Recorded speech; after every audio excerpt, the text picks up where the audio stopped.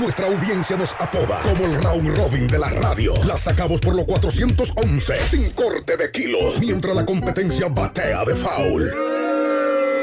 Las deportivas en Beat Radio Show. Señores, buenas noches. Muchas gracias por pertenecer a este grupo, el Round Robin, por el Beat Radio Show. Yo soy Ronald Reyes y en estos momentos estamos compartiendo la sección deportiva, el Round Robin a través del Beat Radio Show. Señores, la voz de las Fuerzas Armadas 102.7 para el resto del país y 106.7 para aquí, a la zona de la capital. Así que, señores, la bienvenida a nuestros queridos amigos Pablo y Juan. Saludos, saludos, buenas noches, amigos que nos sintonizan. ¿Qué es lo que hay que tenemos, Juan Carlos? Oh, feliz de estar aquí por las 106.9 y 102.7 de nuestra emisora para compartir todas las noticias deportivas de su interés. Claro, mi hermano. Mire, eh, ya, ya pasó la Serie del Caribe y realmente fue buena. Yo no me quejo realmente porque, dime tú, ¿Qué? República Dominicana se fue para la final. Fue buena. Ok. Pablito, Fu- cuéntame, ¿qué pasó? ¿Qué pasó, Pablito, en esa serie? Cuéntame. Bueno, bueno, tomando como punto de partida que mis compañeros, colegas aquí eh, la pegaron en sus, pronósticos, en sus pronósticos. eh, Wellington la pegó. Un Dieron- para Wellington. dieron Sí. ey, un abrazo a Wellington Jiménez, se estrella. Este, miren, aquí se dijo, precisamente el sábado, sábado pasado, Sí. que Venezuela, que Venezuela era favorito por la nomenclatura, por cómo estaba conformado. Ese es el resultado que vimos ahí. Escuchamos, escuchamos muchas teorías. Uno como dominicano, uno como dominicano se enfoca en, en buscarle el fallo a por qué no ganamos.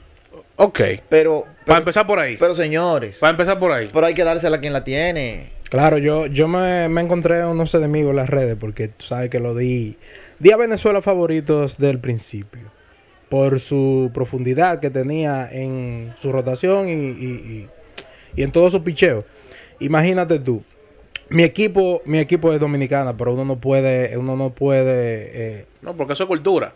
Eso, pa- pa- eso es cultura. Eh. tu equipo es de tu país porque tú eres de tu Exacto. país. ¿tú Entonces, entonces se- estaban midiendo dos managers, uno de 31 años, otro de 50 y tantos. Sí, sí. Creo que 50 y tantos tiene José Guillén. O sí, Un Guillén, hom- correcto. Un hombre muy astuto, manillando, ya tú sabes. Mira, pero que, eh, eh, hubo.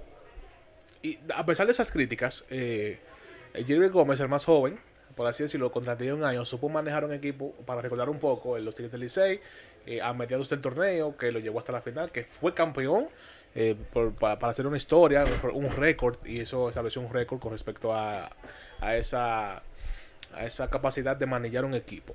Ahora, eh, fue la, tuvo la capacidad también de manejar a su equipo, obviamente, en República Dominicana, aquí en la Serie del Caribe. Pero eh, vamos a hablar entonces de la rotación de los, de los pitches que estuvimos hablando fuera de cámara. Pablito, háblame de esa rotación que, que hubo como, ¿qué pasó? Que te meto, que te saco. ¿Qué pasó, Pablito? ahí? Bueno, en el en ese en ese juego eh, de ayer, ese juego de la final de ayer, miren, César Valdés, la carta de triunfo, la carta de triunfo de, del conjunto dominicana, del conjunto de Dominicana, en el cuarto inning, ojo con esto, en el cuarto inning, de la manera en que César Valdés saca esos últimos tres outs, era, era para ya ese hombre no volver a salir más. 100% de acuerdo. De hecho, de hecho, a César le vienen conectando desde el principio. Lo que pasa es que no cuajaban. Ellos llegaron a envasar eh, dos hombres. Lo que pasa es que lo lograron luego de dos outs. Ok. Y César de alguna manera lograba el out 3 para cerrar el inning, pero Para a cerrar. César le venían conectando. Yo vengo diciendo, eh, mira, el, el picheo eh, de Venezuela estaba, estaba, estaba encima, estuvo por encima. Estaba imbateable. Pero es que el equipo de Venezuela, como bien mencionamos aquí, había inversiones, hubo inversiones.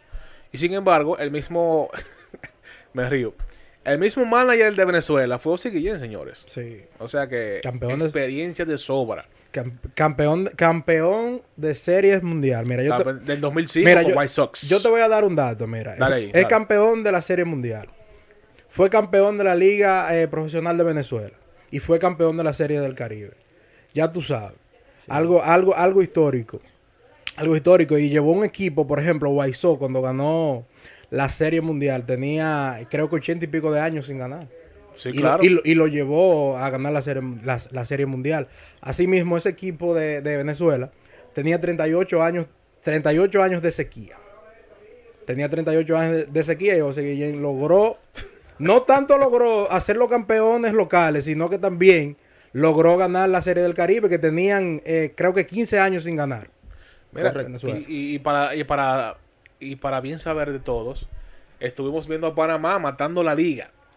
Panamá, señores, estuvo dando mucho miedo. Dame tu parecer de ese formato, porque hay gente que no, que no están contento por ese por, por, el formato, porque... Bueno, fácil y sencillo. Yo recuerdo que eh, República Dominicana tuvo un encuentro eh, que estuvo invicto y que Colombia fue el único equipo que derrotó, que derrotó a República Dominicana y, y República Dominicana se quedó fuera. Que quedó fuera.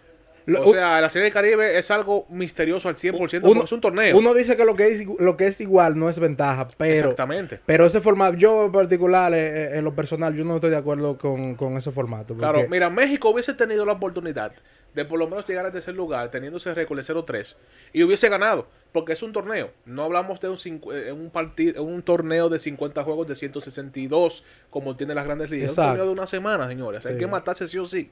Claro. Sí, pero un, imagínate, un equipo con cinco victorias, con cinco victorias, quedar fuera, y un equipo con solamente cu eh, cuatro o tres victorias que clasificar, eh, tú dices, concho, ¿por qué? Pero, claro. Es que, claro. Es que, es que, el calendario debe ser, debe estar diseñado para que el mejor equipo, o sea, para que el equipo con el mejor récord quede por encima de un, equipo, de un equipo que haya jugado peor. O sea, no es posible que usted con tres juegos perdidos y uno ganado me quite la victoria a mí, me quite la, la, la, la, participación a mí, que tengo, por ejemplo, tres ganados y uno perdido. Claro. O sea, eso es injusto. Pero claro. que yo con récord positivo me vaya a casa. Y tú con récord positivo sea hasta campeón. Hasta campeón, pero Pienso claro. que, de hecho, eso lo cambian. Pero eso... mira, Curazao, Curazao se vio, clasificó a la semifinal. Sí. Imagínate tú que Curazao. Y, y, fue Panamá que le ganó a, a, a Curazao, que se quedó en tercer lugar ese formato ellos van a tener que llegar, porque de hecho, de hecho, ellos tienen un problema porque siempre viven cambiando el formato. Okay. La gente no entiende eso. No, o sea, no, la, la gente, gente tú le preguntas, ¿cómo gane ya? Al ciudadano común tú le preguntas cómo es el calendario de para fines clasificatorios de la Serie del Caribe Exacto. y no lo entienden. No lo entienden. No, no, no, no que, que, me, que, gane mi equipo, que yo voy al mío. Exacto. Y, y si gana hoy, ¿qué pasa? Y si gana mañana, no, no lo Pero entienden. a, ayer, ayer había una persona que estaba viendo el juego cerca de mí, que me dijo, ya, ¿y mañana con quién va a jugar Venezuela? Le digo yo, no, ya se acabó. se acabó, fue, fue que ya Venezuela es campeón. ¿Cómo va a ser? ¿Por cómo? No, ya Venezuela es campeón. Eso es así. Entonces, bueno, los tiburones de la Guaira se coronaron campeones. Después de, 30, de 38 años. Después de sin 38 ver a años. Imagínate, tú eras un equipo que allá. Yo me imagino que tenía muy pocos fanáticos. Pero eh, eso hay que verlo por el lado bueno. Venezuela eh, ha sido eh, castigado por. por ¿Qué te digo? Por los problemas que están pasando allá. Y esa victoria le da, le da eh, un, un, ánimo y un resurgir. sí, claro, sí, mira, sí. y tú sabes que yo puedo decir. Es lo siguiente. Enrique Rojas, nuestro querido colega allá en los Estados Unidos, dijo un comentario muy interesante que me pareció muy reflectivo. Y, y es lo siguiente.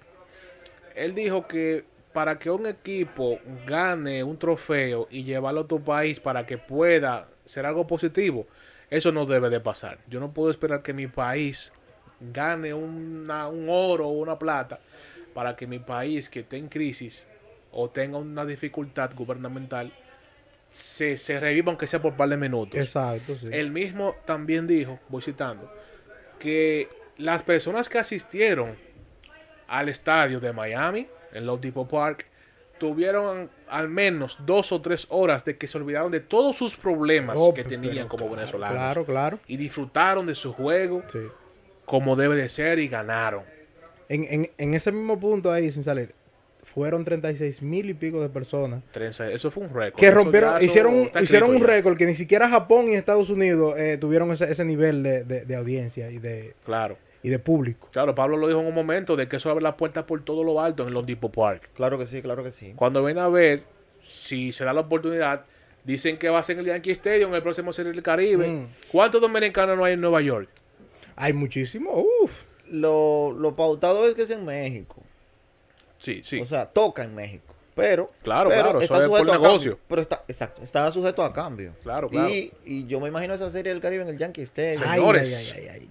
muchos latinos hay en Nueva York, que se vea en el estadio eh, más asistido por los americanos, lleno de latinos. Eso sería increíble. Oh, claro que sí. Mira, se dio lo que Paulito dijo, lo que se dio, llenar ese play de Miami, Lone Depot Park, de muchos latinos, venezolanos, eh, de Curazao, de Panamá, de, de República Dominicana y también de Puerto Rico, claro. Sí, está. hubo Claro. mucha audiencia también en el juego de Dominicana y Puerto Sí, Rico. sí, sí, realmente es interesante. Súper, súper. Señores, vamos a pasar a las grandes ligas. Eh, hay hay unos detalles por ahí eh, de que ya están surgiendo, re- algunos retiros de muchas celebridades, muchos pitches buenos, que realmente creo que se me está yendo la edad a mí. Yo me siento como medio raro, se me están yendo lo- la gente grande. No, porque eh, lo que pasa es que la edad de un pelotero no es precisamente por, por arrugas. Ayúdame ahí, Pablito, Lo que ayúdame. pasa ayúdame. es que recordemos que son atletas. Son atletas que el tiempo, el tiempo, lamentablemente, Va desgastando ya Claro. algunas habilidades. pero no es edad eh, humana per se. O sea, no. Cuando uno dice ya ese, ese lanzador, por ejemplo, está viejo, eso no es en términos despectivos, sino que uno dice, bueno, ya él tiene 15, 16 años jugando grandes ligas, y eso comparativamente, ¿verdad? Sí, claro. Con el nivel competitivo que tú debes tener, a un- uno le llama a eso viejo, pero realmente no, es que son viejos. no, no, es que- es que se Ro- pierde- Robinson Cano es un muchachito. Se pierden habilidades. ¿Cómo? mira. yo recuerdo que- Albert Pujol es un muchachito. yo recuerdo cuando David Ortiz, fuera del terreno. cuando David Ortiz Ay, se ay, tomó ay. la decisión de retirarse, él dijo que Sisi Sabata lo ponchó con un retazo, medio a medio, eh, con las bases llenas, y él no vio, esa- no vio esa recta. Entonces él ahí dijo, no, ya yo, ya yo estoy perdiendo Ya, facultades ya, ya, sí, de sí. la vista, ya yo no puedo terminar mi carrera pasando lástima. Sí. Y ya tú sabes, por eso tomó la decisión. Entonces yo me imagino que el retiro de, de- de esos peloteros, como quizás es el caso de, de algunos, Cory Kluber, que, Corey ya- Kluber. que él mismo se, se retiró hace unos días. Sí. Mira, eh, uno de esos retiros, puedo mencionar a Corey Kluber. Sí, Señores, Corey Kluber mencionó su retiro después de 13 trem- tre- temporadas.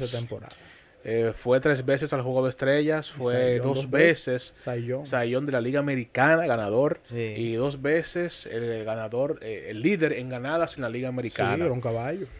Eh, también otras informaciones en, en que podemos mencionar de que también tenemos aquí a José Altuve. José Altuve hizo una historia por ahí, Pablito, que, que realmente marcó la vida de José Altuve en los Astros de Houston. Eh, firmó ya por más de cinco años. Sí. Eh, hubo un contrato ahí que realmente me sorprendió.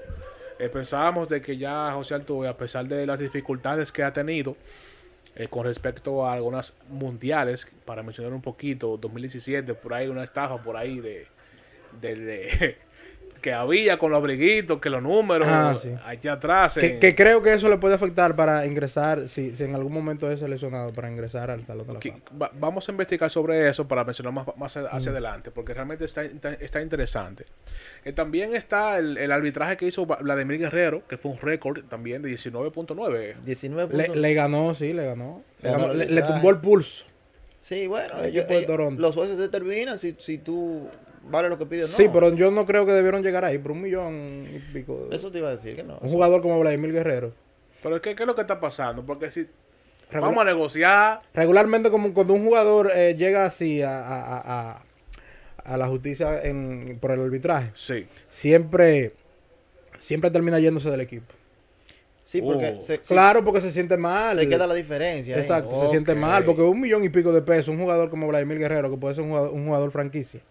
Claro que sí, o sea. Igual que José Altuve, que José Altuve tomó la decisión, bueno, tomaron la decisión de quedarse esos cinco años más, que quizás llega a 38 años, ahí en su equipo, que es el único que ha, que, que ha, que ha milita- mili- milita- militarizado. Sí. Sí. Eh, quedarse ahí su, su, su, su, Sí, yo- el- su carrera completa. Un astro de por vida, claro. Astro de por vida. Sí. Entonces, es lo que te digo, Vladimir, en un momento un equipo viene y le ofrece que no sea los Yankees, porque él dijo que no. Eso que para- mal. Él dijo que para los Yankees no. muy mal. Eso, Porque, eso fue lo- una cosa con guitarra. Eso fue lo que él pero dijo. claro, ¿cómo puede ser que tú vienes, tú con, con, con expectativas millonarias de inversión de un equipo contigo? Concho.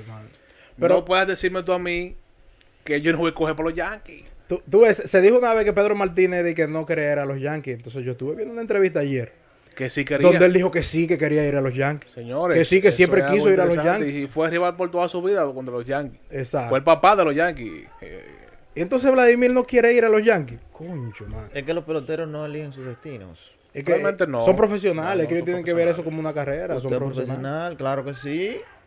Usted es un profesional, pero usted no elige su destino. Usted llega hasta donde su talento lo lleve. Claro. ¿Dónde lo llevó? A Cleveland. Ahí usted va a jugar. Claro, Eso así. es así. bueno, mira, ve- vemos a, a, a, a Gary Sánchez. Gary Wow. Sánchez estuvo con San Diego con esos dominicanos que tienen que ver, Manny Machado, el mismo Fernando Tatis Jr.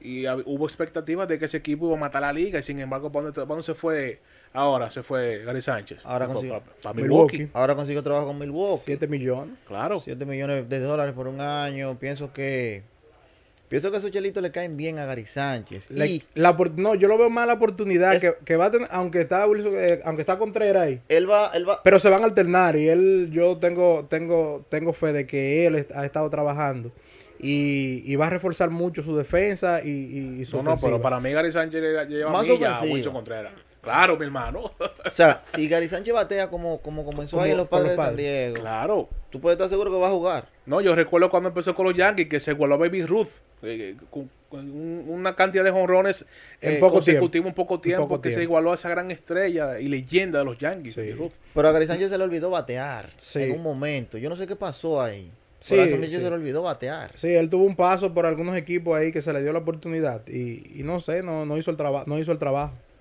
¿No? Y también habla- hablando de, de esas inversiones, hablamos de los Dodgers de Los Ángeles, eh, que también vimos la- las, las últimas de que Clayton Kershaw regresó a su equipo. Una alineación a- a- abridora de, de pitchers, señores, Una increíble. Yo Se- puedo decir, como dije también fuera de cámara con los colegas, que yo estoy viendo a los Dodgers como los Yankees. Están como invirtiendo mucho, pero le falta mucho a Belinda. Ey, cuidado. Es que hay que veces que donde ¿Qué es lo que está pasando hay- con los Dodgers, eh? don- Donde hay muchas estrellas a veces se hace difícil. Se hace difícil. Mira, recientemente, aunque claro está, no podemos eh, tumbarlo de, la, de, este- de ese trono. Shohei Otani fue reci- recientemente operado de la tomillón. Sí. Que recordamos que esa operación del tomillón es para mejorar tu, eh, tu posición como pitcher y, y sea mejor. Sin embargo, ahora tiene la capacidad de, de estar bateando solamente de manera ofensiva con la, en la rotación de la, en la alineación de los Dodgers. Sin embargo, eh, sin embargo, podemos decir que Yamamoto, Clayton Kershaw, Buehler, Yo, oye, oye, la- oye la alineación. Dime algo ahí, Claro, la posible. La posible. la rotación. Sí. Yoshinobu Yamamoto, lógicamente, ¿verdad? Sí. Tyler Glasnow, Sí, ay, ay. Walker Buehler, Ay, ay, ay. ese jovencito muy bueno.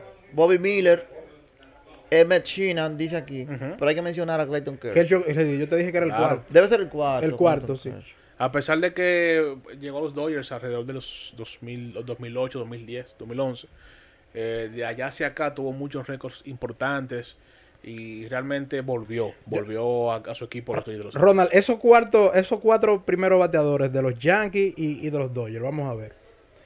¿Qué te gusta? Los? Yankees. Los Yankees, ¿te, Los te va, Yankees. te- te va con los cuatro de los Yankees? Pero claro que sí. los. Claro que sí. Sí. Pero sí. lógico, pero es que los Yankees Ah. tienen ahí bateadores zurdos de poder y derechos de poder. Y entonces cuando ellos te lo alternan.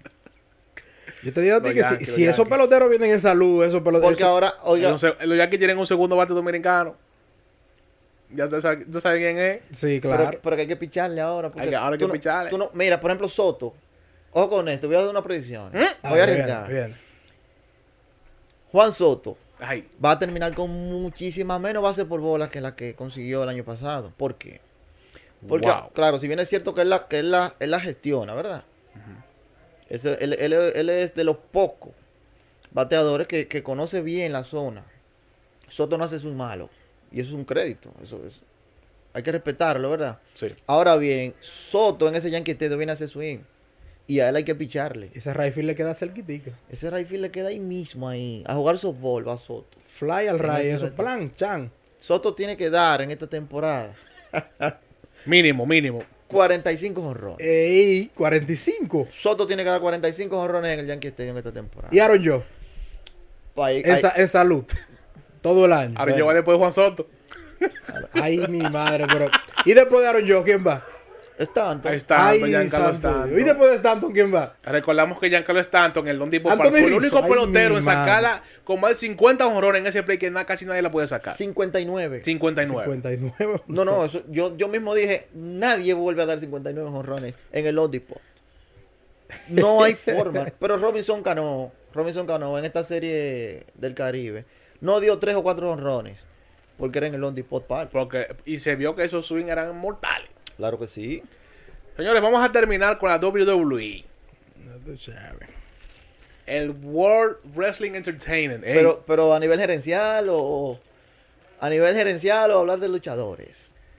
eh, señores, la WWE. Este, yo voy a llamar eh, a, a mi querido productor, Derek Rubio, eh, que está por ahí. Vamos a hablar un poquito de qué fue lo que pasó con la reciente eh, evento que pasó eh, aquí en, eh, en la WWE, señores. Eh, aquí tengo a, a- a mi querido amigo y productor Derek Rubio. A nivel de escándalo. Sí, sí, sí. Vamos a. Cuéntame, mi hermanito, un poquito sobre la WWE, mi hermano. Cuéntame. Bueno, eh, gracias hermano Ronald. No, mi hermano.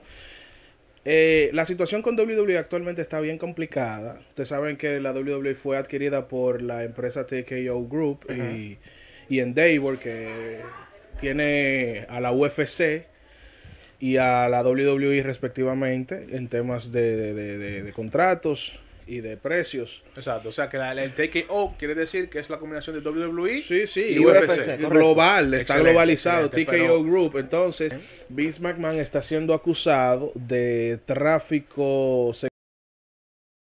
eh, con una ex empleada de WWE, apellido Grant, y esa situación ha provocado que la empresa eh, borre el nombre de Vince McMahon por completo. Incluso tú entras a la página web de ellos y no aparece ningún rastro de Vince McMahon más que noticias pequeñas.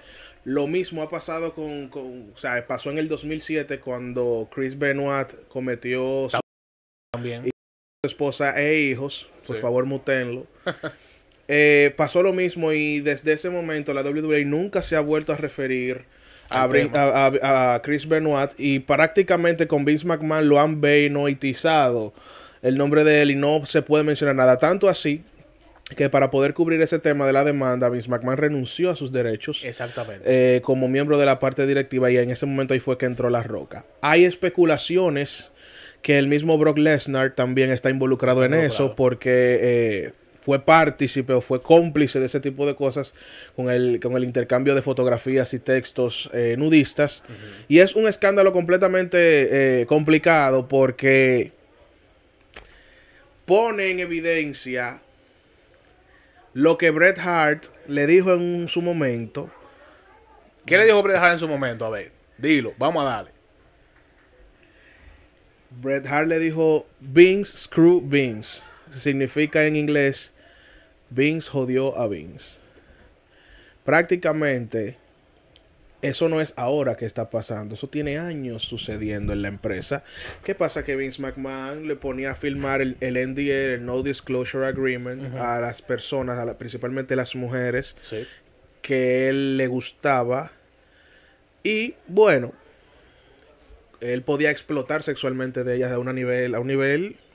No puedo describirlo aquí. Me hubiese gustado tener la, la- la- la- el expediente. No, claro, Pero es muy, muy, muy, muy, muy gráfico. Y lo que está pasando con eso, posiblemente tengo información de que Triple H también lo despidan por eso. Por eso. Obviamente, Triple H sabemos que es yerno de Vince McMahon. Está Claro, casado con la con hija, hija. con Stephanie. Con Stephanie McMahon. Y en varias conferencias de prensa le han preguntado a Triple H si él sabía de la situación con Vince McMahon y él evade la pregunta. Tiene manejo, pero por supuesto que él sabe qué está pasando. Quizá no fue parte, pero simplemente por ser el eh, allegado a esa familia, Sí. tiene algo que ver y tiene alguna información.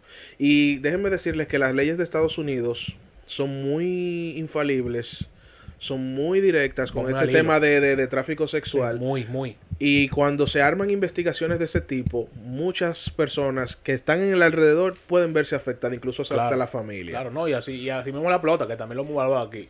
Sí. El mismo Wander Franco está involucrado, que también lo hemos mencionado con muchos detalles.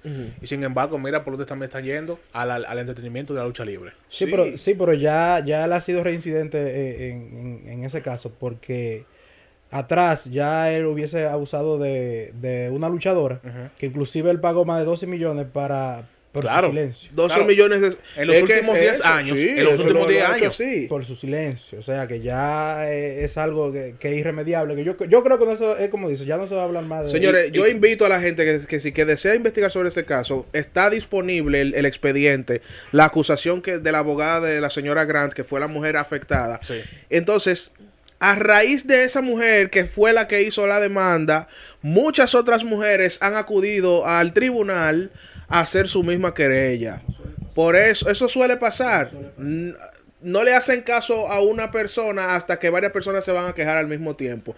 Pero es muy delicado y actualmente la situación en la cual se encuentra WWE creo que se encuentra en un muy buen momento de camino a WrestleMania 40. Sí. Eh, se encuentra en un muy buen momento a nivel creativo, pero Triple H está en peligro. Está en peligro. Posiblemente Mira, ah, eh, game over para Triple H. para- Es una pena eso. porque Sí, con Triple H una estrella, un cerebro. Nosotros crecimos viendo esas personas. Pero claro. Claro, claro. Mira, y, persona. y para generalizar, ya para terminar nuestra parte, eh, esa, esa, esa, esa, esa renuncia de, de Vince McMahon pasó alrededor de, de- de enero de este año. Y a raíz de eso, también supuestamente se dice que estuvo con una, con una ex gerente que también tuvo que pagarle a ella para que para que silenciara eh, el abuso sexual. Fueron, fueron más de dos, eh, 1.2 millones de dólares que tuvo que dar por el silencio Él gastó como 12 millones. él, él dio un dinero realmente de manera ilegal, por así decirlo, para que no se diera cuenta de que ese abuso se estaba, se estaba permitiendo dentro de esa empresa. Bueno, señores, este ha sido la sección en Round Robin en el Beat Radio Show. Esperemos que nos sigan a nosotros en las redes sociales, en YouTube también. Coméntanos, eh, dinos tu opinión acerca de nuestros puntos de vista. Nosotros somos un grupo de panelistas que tenemos expectativas y tenemos pocas experiencias, pero estamos dando la batalla, Pablito. Ojo, no fue que Dominicana perdió, fue que Venezuela ganó. Eso fue lo que pasó. Ya para terminar, señores, tenemos el Super Bowl por ahí. Sí, sí, sí. Ya el Super Bowl tiene su, su final, el Super Bowl. ¿eh? Eh, tiene una edición eh, 50 y va por los 50, 55, 56 y ya podemos mencionar de que el Super Bowl es uno de los eventos más grandes del Has mundo visto. donde el halftime, eh, el, el, el- el show de medio tiempo se ha caracterizado por muchos artistas y se rumora eh, que Justin Bieber y otros artistas Usher. también Usher y estará- Usher estarán participando como protagonistas de este evento. Sí. Eh, Pablito, ¿tienes algo por ahí sobre este evento? Bueno, Kansas, eh, Patrick Mahomes, hay que mencionarlo, contra los 49ers de San Francisco. Así es. Se miden mañana de frente. Eh, mire, este, este es un evento, estamos hablando de un evento que me parece que es el más visto de Estados Unidos, ¿verdad? Sí, claro, Por claro. lo menos de Estados Unidos. No, Sí. porque el deporte principal de los americanos, el fútbol americano, Es con la pelota. Sí. Fútbol americano, ese, ese super tazón, Claro. Super Bowl, eso es importantísimo. Y mañana, mañana eh, se miden estos dos, eh, estas dos cabezas, si se quiere, ¿verdad? Sí. A romper récord en audiencia fútbol americano. Yo creo que sí.